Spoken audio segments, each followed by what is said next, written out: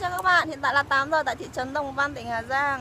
Và trong khi chờ những người đồng đội của tôi, tôi đã lên trên này và khám phá ra một nơi cực kỳ tuyệt vời Rất là nhiều rau và hoa.